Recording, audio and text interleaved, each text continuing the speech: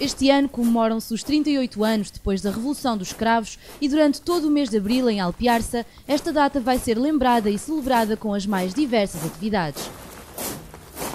Apostamos este ano numas comemorações uh, globais do 25 de Abril, ou seja, ocupar todo o mês com um conjunto vasto de iniciativas. Portanto, andarão à volta das 40 iniciativas uh, a realizar durante o mês de Abril, que pretendem integrar, no fundo, toda a atividade cultural, desportiva uh, e até de, de, intervenção mais geral na, na sociedade, uh, integrá-las numa comemoração a que designamos uh, que designamos Abril, mês da liberdade. Na madrugada do dia 25 de Abril, o movimento das Forças Armadas Portuguesas, no decurso de uma ação conjunta,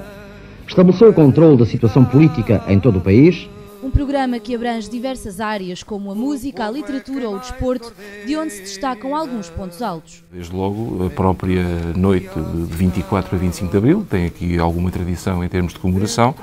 eh, com a sessão solene da Assembleia Municipal, onde existirão hum, as naturais eh, intervenções das forças políticas, eh, onde haverá também o tal momento de homenagem através da atribuição da Medalha Municipal da Liberdade alguns alpiacenses que, que, se destacaram na luta contra a, a ditadura. Uh, o dia 25, portanto, há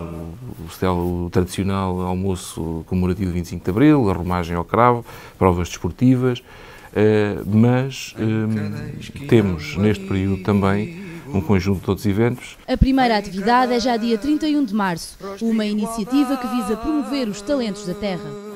Entramos em abril uh, pelo mês de março Uh, temos o Festival de Bandas, uh, o Festival de Bandas comemorando também o Dia da Juventude no pavilhão da feira. São ao todo 16 dias de eventos que vão decorrer até ao final de abril. Celebrações que prestam a devida homenagem à Revolução de 74, uma data marcante para uma terra particularmente ligada à luta contra o fascismo.